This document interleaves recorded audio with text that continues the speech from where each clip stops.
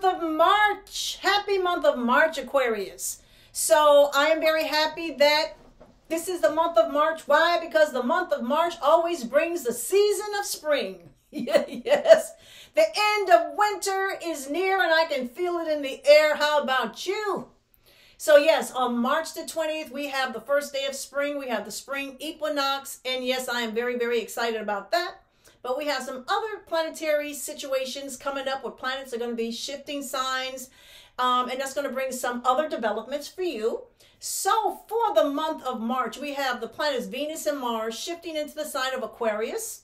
We have uh, Mercury, the planet of communication, shifting into the sign of Pisces and shifting into the sign of Aries.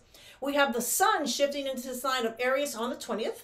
And then we have a new moon in the sign of Pisces on the 2nd and a full moon in the sign of Virgo on the 18th. And for you this month, wow, Aquarius, gaining stronger finances will grab your attention.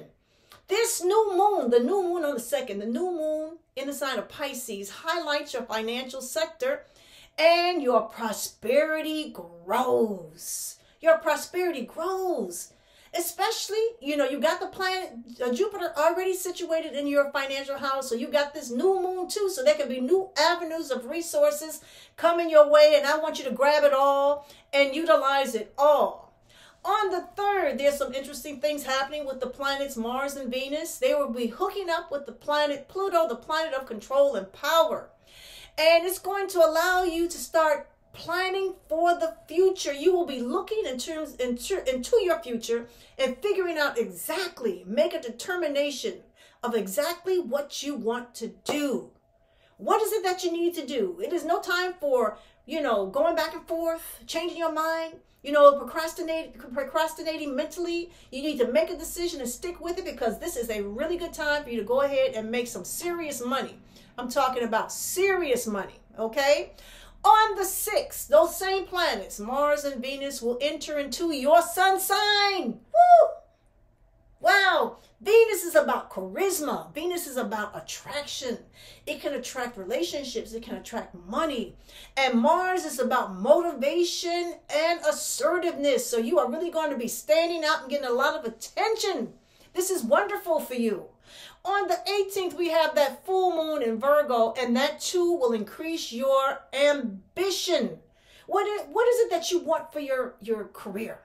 You know, your ambition will be strengthened on the full moon. So this is really a good cycle for money. You're in a great cycle for money. And you know, on the full moon you get you can stride for for future money, long-term money. And that is a really a good time to start planning and on March the 20th, like I mentioned before, the sun will be entering into the sign of Aries. It is going to be the first day of spring, and that is going to inspire you to enjoy the company of friends and loved ones and do a lot more socializing. You're going to be more social, and it's going to put you in a great mood for the rest of the month. Yay, Aquarius, yay. So I'm going to do a tarot reading for you. I have three decks of cards, and I'm going to choose a card um, from each deck. And the first card for you this month will be uh, Step Out of Your Comfort Zone. To step out of your comfort zone. Is there something that you've been wanting to do and you've been afraid to do it? This is the time to step out of your comfort zone and to take a chance because really you are in a win-win cycle. You got a lot of cosmic help. So you are in a win-win cycle. Do not be afraid to try something new. The second card for you, the second card from the tarot deck for you this month is Oh, the creator. This is this is a card of manifestation. To create what you want to happen into your life created through your thoughts, your deeds, and your actions. This is a spiritual card because everything starts on the inside and manifests on the outside. Prayers, meditation, and to be firm about what it is that you want, have details about what you want to materialize in your life this month, and you have a very good chance of allowing it to manifest. And the third card for you this month is the third card is the King of Wands business card. It's about taking care of your business. Is there something you've been dragging your feet about or something you need to take care of?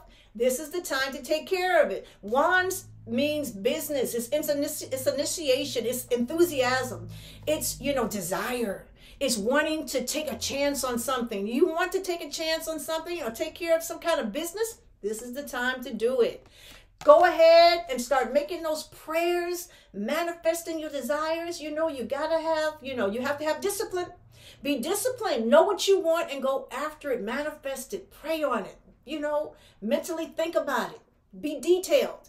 And just know that don't be afraid to step out of your comfort zone to get some new inspiration, a new activity, a new idea to come your way because this is going to be a fabulous month for you, Aquarius. You're going to really enjoy this month. So that is your reading for the month of Mars. And if you'd like me to take a look at your personal planets, you can contact me at kimallen.com. That is kimallen.com and let me schedule a personal reading for you. Have a great month and thank you.